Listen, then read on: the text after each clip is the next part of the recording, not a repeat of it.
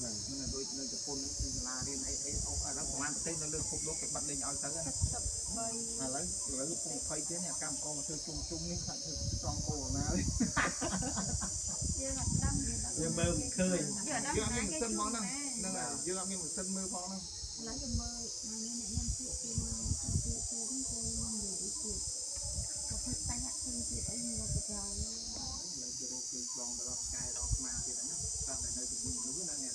ឆ្លងណាគេប្រកាសឲ្យទៅតាមគាត់